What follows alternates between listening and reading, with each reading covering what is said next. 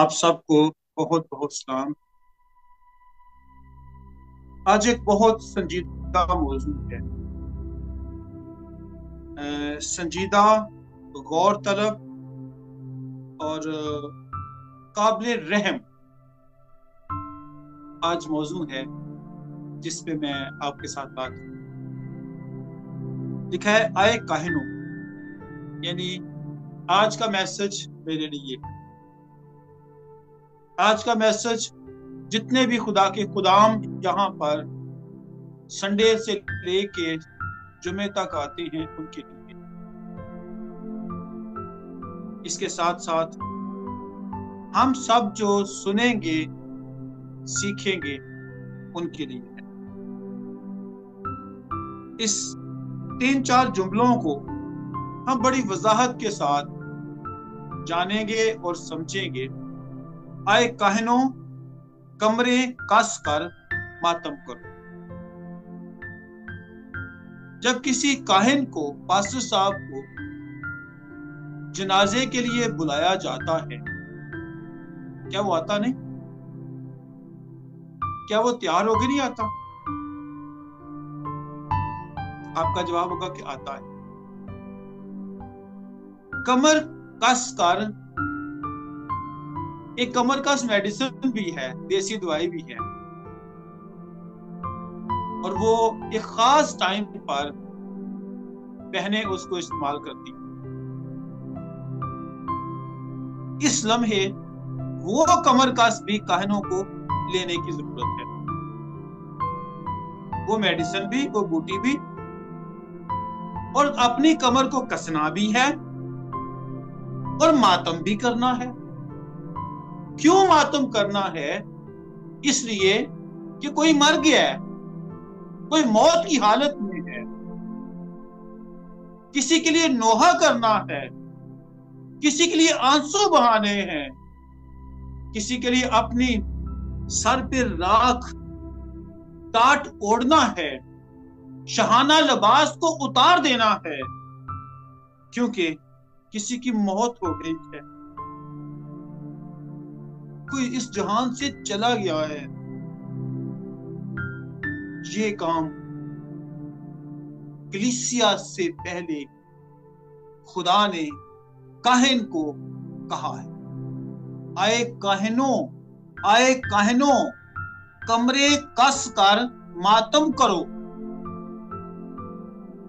میرے بہن بھائیوں پہلی بات میں کہوں گا آپ سے، اس بات کا فقدان ہے کہنوں کے اندر۔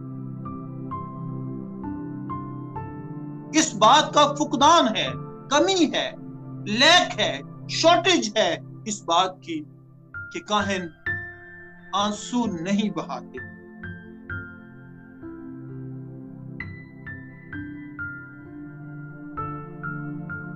لوکا کی انجیل نکالیں ذرا پلیز۔ خدا یسو مسیح نے بارہویں باپ نے اپنے شاگردوں سے کہا تھا، تمہاری کمرے بندی رہیں، تمہارے چراغ جلتے رہیں، تم ان آدمیوں کی مانت بنو جو اپنے مالک کی راہ دیکھتے ہوں کہ وہ شادی سے میں سے کب لوٹے گا تاکہ جب وہ آ کر دروازہ کٹ کٹائے تو فوراً اس کے واسطے کھول دیں۔ مبارک ہیں وہ نوکر جن کا مالک آ کر انہیں جاگتا پائے۔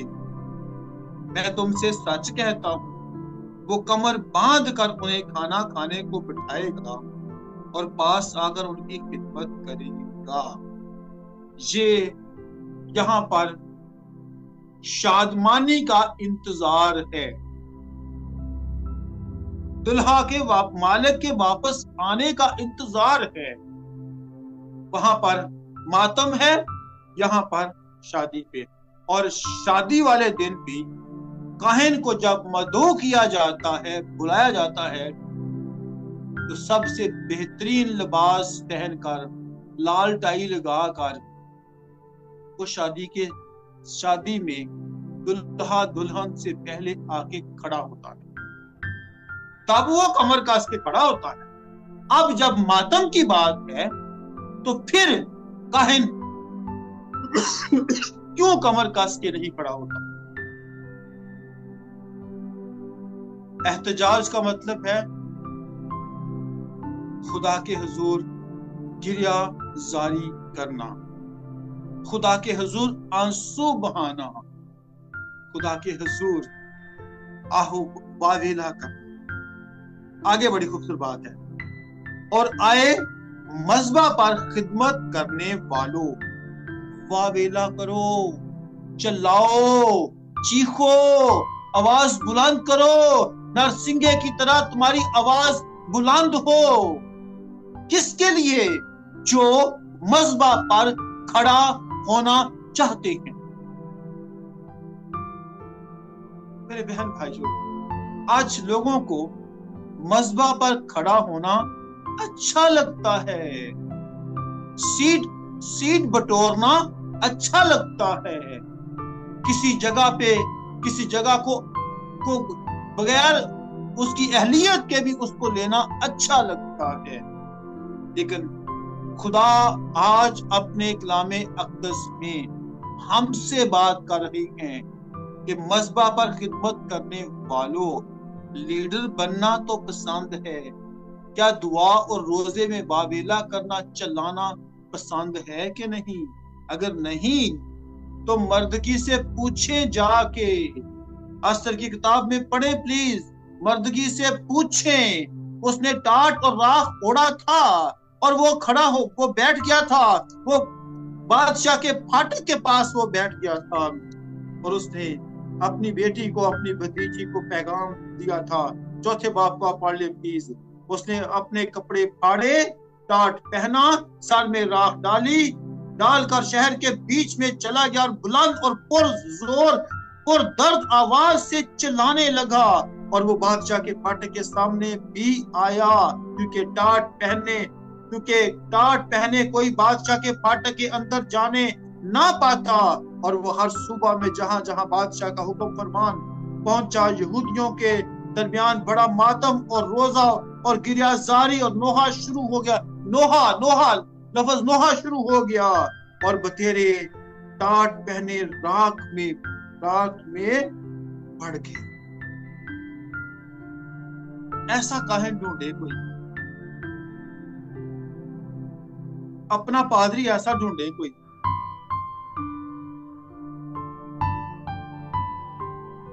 میرے بہن بھائیوں، آج کلیسیائے پاکستان زوال کا شکار ہے۔ تو اس کرائٹیریا پہ اگر پاسبان ہیں یا نہیں ہے فیصلہ آپ کے سامنے۔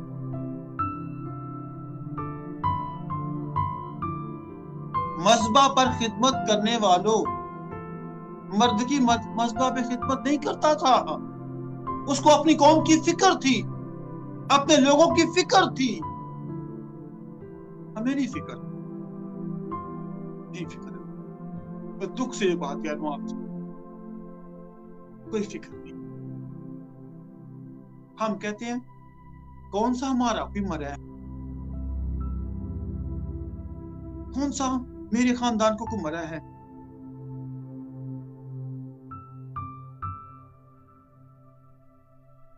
آئے میرے خدا کے خادموں، آؤ رات پر ٹاٹ اڑو۔ رات پر ٹاٹ اڑو۔ ڈرامے بازی نہ کرو ٹاٹ اڑو۔ نوحہ کی کتاب نکالے پلیز دوسرے باب میں کیا لکھا ہے؟ اس کی اٹھارہ، انیس بیس آیت مجھے بڑی پسند ہے، میری بڑی فیوریٹ آیت ہے۔ کیا لکھا ہے؟ اٹھ۔ رات کے پہروں کے شروع میں فریاد پر۔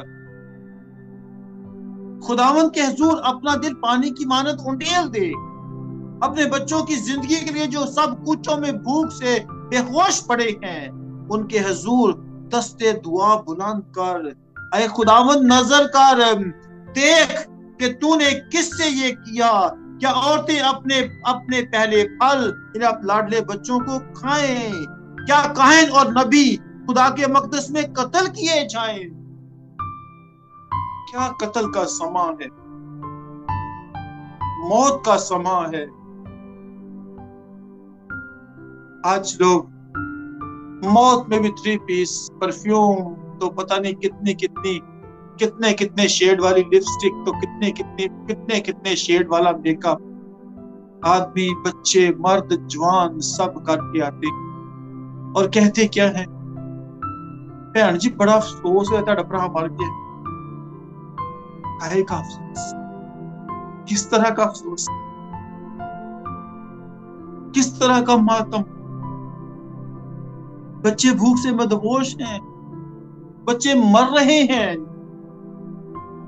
اور ہم کہہ رہے ہیں بھائی جی بڑا افسوس ہے بڑا ہی تنو افسوس ہے آپ ذرا پلیز پہلے باپ کی سترویں آیت پہلے پڑھے جو پہلے باپ کی سترویں آیت ذرا غور سے پڑھے بیج ٹیلوں کے نیچے سڑ گیا۔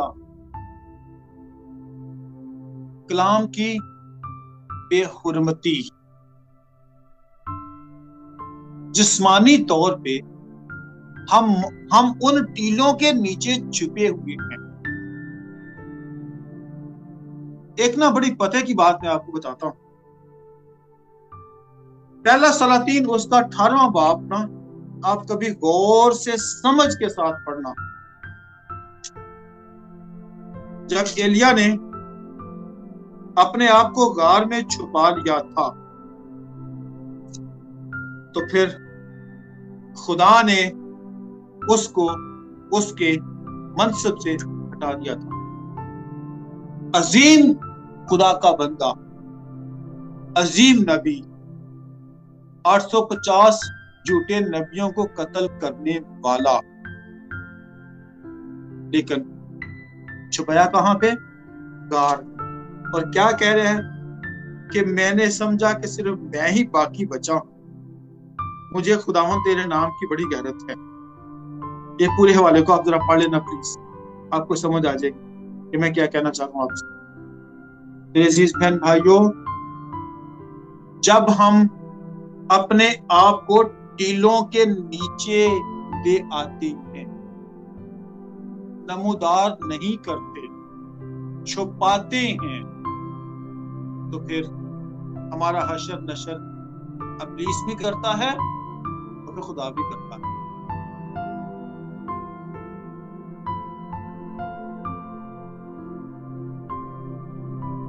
اب ذرا آپ سولہویں آیت پڑھے کیا ہماری آنکھوں کے سامنے روزی معقوف نہیں؟ ہمارے بچے بھوک بھوک سے مدہوش پڑ رہی ہوئی ہیں۔ جاب نہیں مل رہا۔ لیک آف سیکورٹی ہے۔ مر رہے ہیں۔ خودکشیاں کر رہے ہیں۔ ہماری بیٹیاں غیر مذاہب میں جا کے شادیاں کر دیتی ہیں۔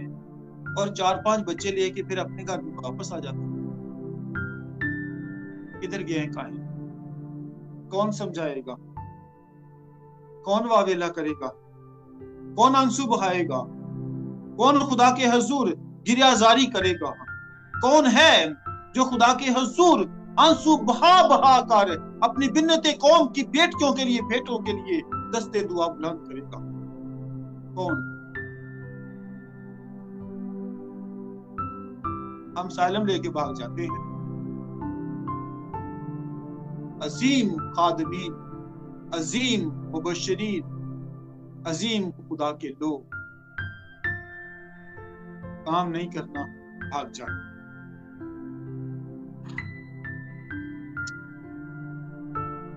آنکھوں کے سامنے روزی معقوف اور ہمارے خدا کے گھر سے خوشی اور شادمانی جاتی رہی۔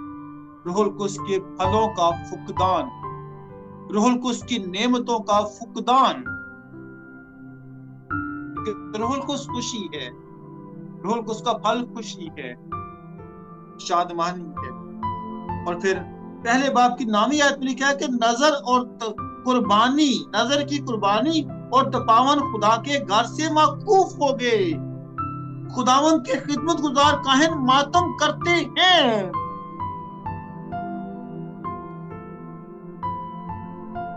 عزیزو احبار کی کتاب کے پانچویں چھٹے باپ کو آپ بڑے نظر کی قربانی کی سمجھ آ جائے یہ خطا کی قربانی کے لیے ہوتی تھی۔ اور یہ بے خبیر آٹے میں بنتی تھی۔ تقسیم سے پڑے وہاں۔ اور بے خبیر کا مطلب پاک زندگی ہے۔ اور پہلے کہن لیتا تھا آپ اس کو پڑھنا پلیز پہلے کہن لیتا تھا، اس کے بعد جو باقی بچتا تھا، وہ کہن کے بیٹوں کو دی جاتی تھی۔ آج میں بڑے ہی دکھ کے ساتھ یہ ساری باتیں آپ سے کہہ رہا ہوں۔ اور پھر جب آپ چھٹا باپ پڑھتے ہیں نا، احبار چھٹا باپ، تو یہاں پہ لکھا ہے کہ مذبح پر آگ جلتی رہے۔ بھئی آگ جلے گی تو قربانی قربانی ہوئے گی نا۔ جب آگ ہی نہیں جلانی، قربانی کیسے چڑھائی جائے گی؟ کیسے بخور جلائے جائیں گے؟ میں اپنے چرچ میں ڈیلی خدا کے گھر میں دیکھتا ہوں۔ میری اس بات سے مخالفت ہوئی ہے کہ کیوں روز چرچ میں اپنے لیے جاتا ہوں۔ ہاں میں شفایت کرنے کے لیے جاتا ہوں۔ میں خدا کا کاہن ہوں، خدا کا بندہ ہوں، خدا کا خادم ہوں۔ اور خادم کا کام ہے احبار چھٹے باپ کی آٹھویں آیت سے آگے آپ پڑھے مذبح پر آگ جلتی رہے۔ اور یہ آگ کا مطلب دعائیں ہیں، مناجاتیں ہیں، درخواستیں ہیں، التجائیں ہیں۔ یہ خدا کے حضور سنانا اشد ضروری ہے۔ شفایت کرنا اشد ضروری ہے۔ خدا کے حضور جھکنا اشد ضروری ہے۔ انٹرسیڈ کرنا اشد ضروری ہے۔ اور مذبح پہ چوبیس گھنٹے آگ چلنی چاہیے۔ کیا کاہن یہ کام کرتے ہیں کہ نہیں؟ کرتے اور پھر لکھا ہے تیرہویں آیت میں، اخبار چھٹے باپ تیرہویں آیت میں مذبح پر آگ ہمیشہ جلتی رہے۔ وہ کبھی بجھنے نہ پائے۔ اور پھر آگے نظر قربانی کی بات ہے کہ کیسے کہن اس کو لے گا، کیسے وہ پکائے گا، کیسے اس کی ایک مٹھی وہ خود کھائے گا۔ اور یہ نہایت پاک ہے، نہایت پاک۔ اور یہ پشت اور پشت خداون کے حضور آپ سن قربانیوں میں سے ان کا حق ہوگا۔ میرے بہن بھائیو پلیز آج ہم افسوس تو بہت کرتے ہیں، پر جو کام ہمیں کرنا وہ ہم نہیں کرتے۔ افسوس بہت ہے۔ یہ ہو گیا، وہ ہو گیا، یہ ہو گیا۔ عزیز بہن بھائیو، دیکھیں کہ بیج ٹیلوں کے نیچے سڑ گیا ہے۔ بچے بھوک سے مدہوش پڑے ہیں۔ اب ہم نے کرنا کیا؟ پہلے باپ کی چوتھیاں پڑھے روزہ کے لیے ایک دن مقدس کرو۔ اب جہاں روزے کی بات آتی ہے نا وہاں پہ کہن پیچھے ہو جاتے ہیں۔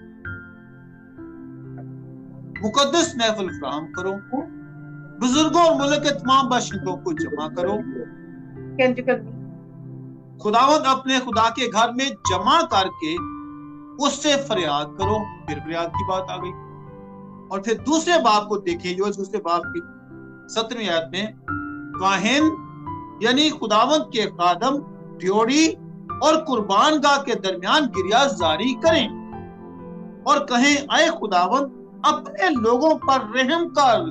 کہیں، اے خداون اپنے لوگوں پر رحم کر۔ کہاں پہ؟ گریا خداون کے خادم ڈوڑی اور قربان گاہ کے پاس آ جائیں۔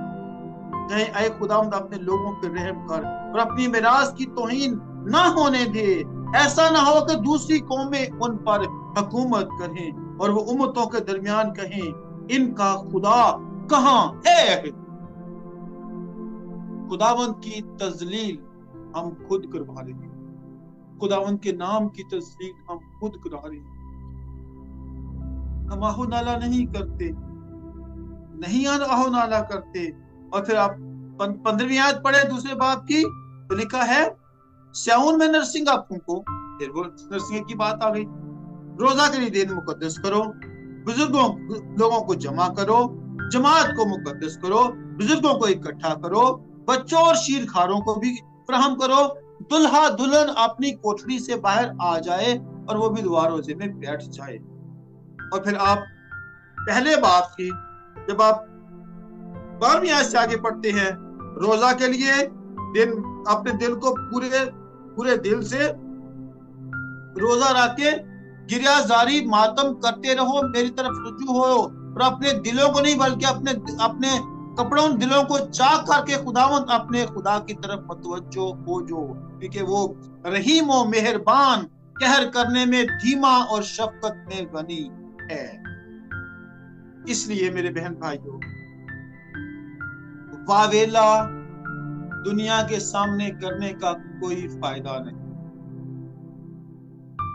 واویلا کرنا ہے خدا کے پاس آ واویلا کرنا ہے خداون کے پاس آ جائے اور پہلے باپ کی دسویں آیت لکھا ہے، کھیت اجڑ گئے کتنے کھیت اجڑ گئے ہیں؟ کتنی میری بہنیں بیوہ ہو گئی ہیں۔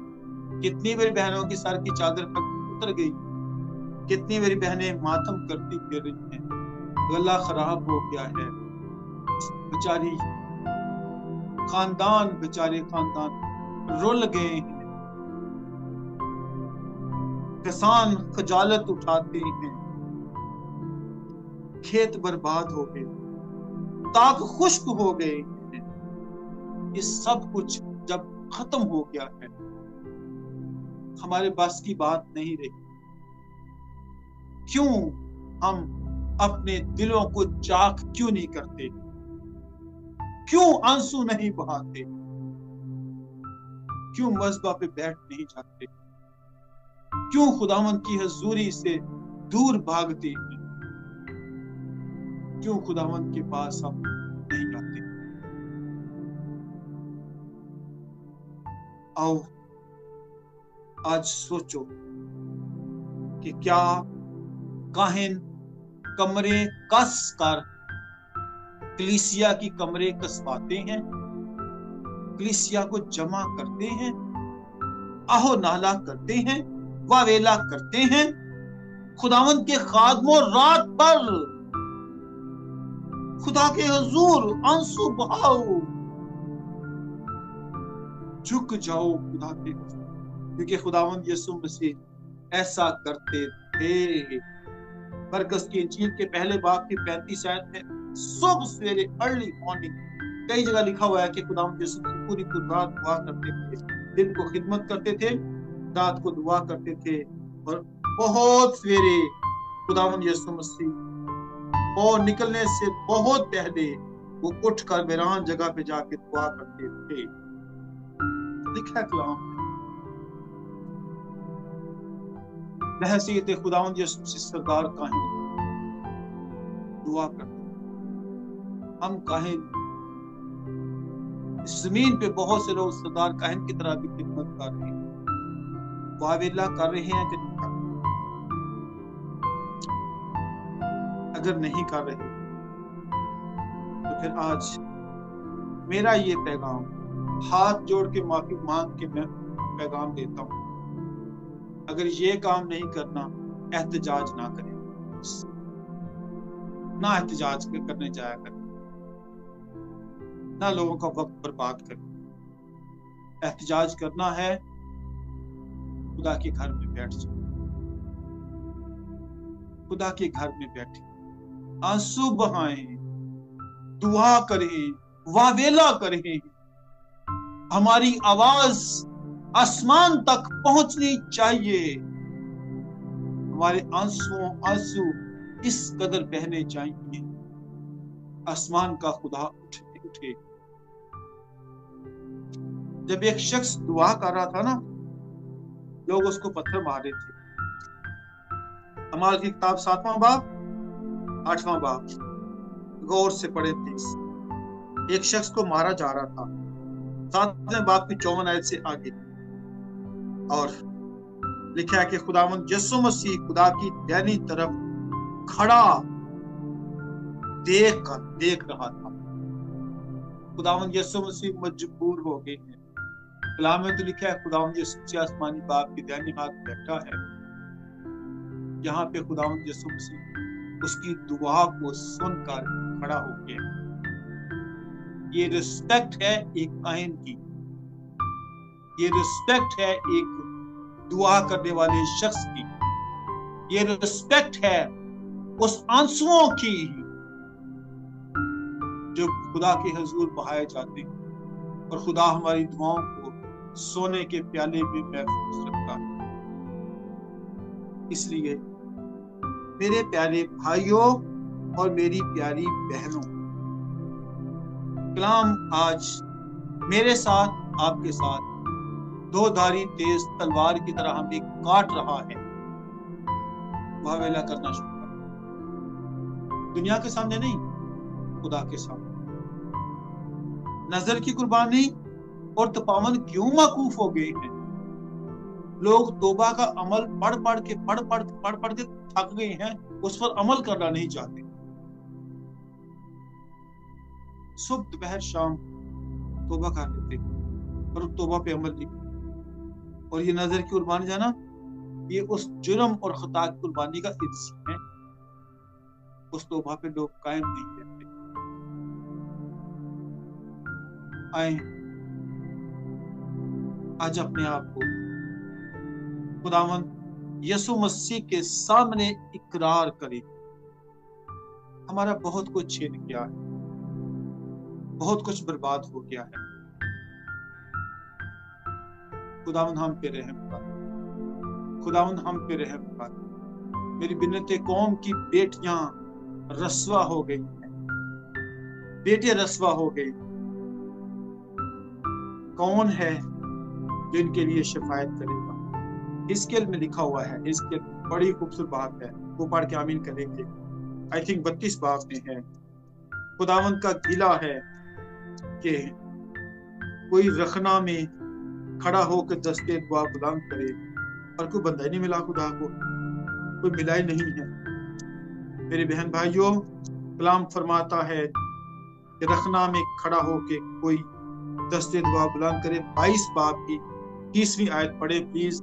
میں نے ان کے درمیان تلاش کی کہ کوئی ایسا آدمی ملے جو فصیل بنائے اور اس سرزمین کے لیے اس کے رکھنا میں میرے سامنے کھڑا ہو تاکہ میں اسے ویران نہ کروں، پر کوئی نہ کوئی نہ ملا۔ میں، بس میں نے اپنا کہر ان پر نازل کیا۔ اور اپنے غضب کی آگ سے ان کو فنا کر دیا۔ اور میں ان کی ان کی روش کو ان کے سروں پر لایا۔ خداوند فرماتا ہے۔ اے کہنو سنو کہنو سنو، غور سے سنو۔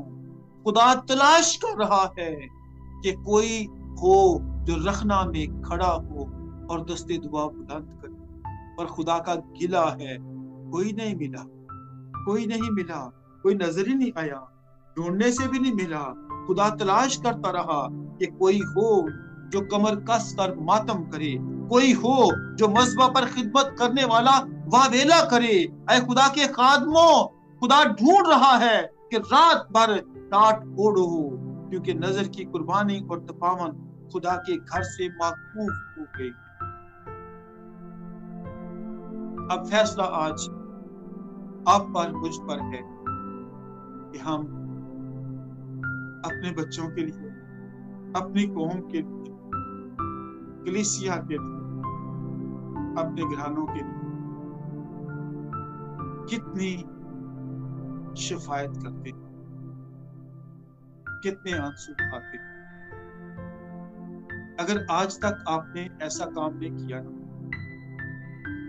میں نے اس اس صحیفہ کو پچھلے ہفتے غور سے لفظ بلفظ چبا چبا کے پڑھا ہے۔ اور آج کل میں آموز کے سلسلے کی سٹڈی کر رہا ہوں۔ مجھے، میری تو آنکھیں کھل گئی۔ جو پردہ جو چھلکے تھے نا، وہ سارے ختم ہو گئے۔ مجھے اب صاف صاف دکھنا شروع آئیں، اپنی بنت قوم کے لوگوں کے لیے، اپنی کلیسیاؤں کے لیے دعا کرنا شروع کاش خدا ہم پہ رحم کر کے اپنا چہرہ ہم پہ چلے خدا ہم آپ سب کو پسند آمین۔